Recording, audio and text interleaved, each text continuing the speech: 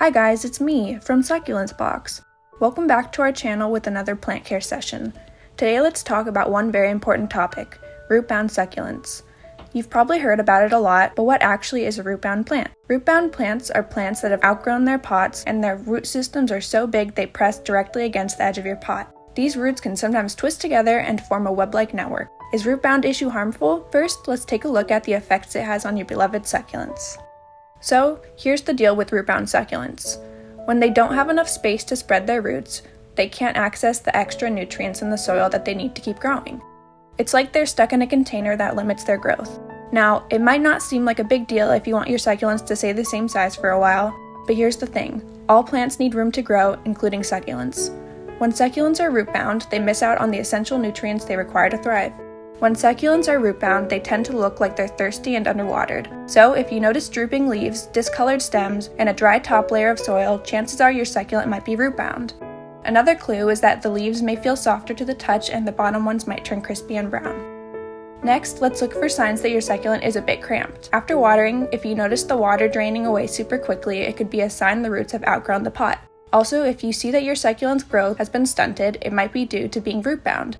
In some extreme cases, you might even see the roots pushing through the drainage holes. Now, if you really want to be sure if your succulent is root bound, the best way is to take it out of the pot and examine the root ball. If the roots aren't tightly packed and it's easy to remove them from the pot, then it's likely root bound but not severe.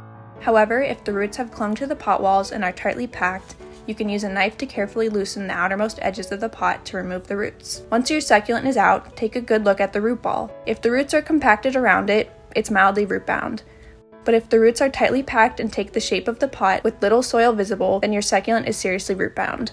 If your succulent is just slightly root bound, or if repotting isn't an option, you can first try to prune the roots. To prune those tangled roots, let's start by taking your succulent out of its pot and gently brushing away any dirt from the roots. Use your clean fingers to gently separate any loose roots from each other. If a root doesn't come loose easily, don't force it. You should also trim off any roots that are discolored, infected, or damaged to promote healthier growth. It's important to remember that after root pruning, you should also clean out the pot and refill it with fresh, clean soil. Root pruning may not work if your succulent has become seriously root bound. In that case, repotting is recommended. First, water your plant thoroughly the day before and gently remove your succulent from the pot. Try not to damage the root system. You can cut off the root parts that cannot be separated from the pot. Once your succulent is free from its old pot, take a look at its roots. If you notice any damaged ones, go ahead and trim them away.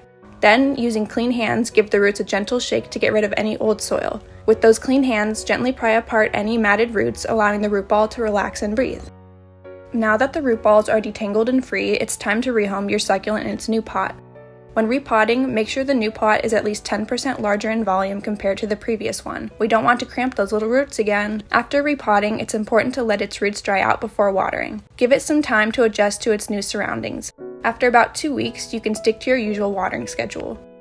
And that's all for root-bound succulents. Now you know how to repot your plants and give them more room to grow. That's it for today's video, everyone. Thank you so much for watching.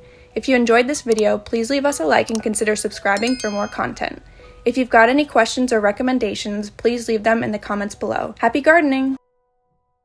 For more, you can find us at succulentsbox.com or on YouTube, TikTok, Facebook, Instagram, and Pinterest.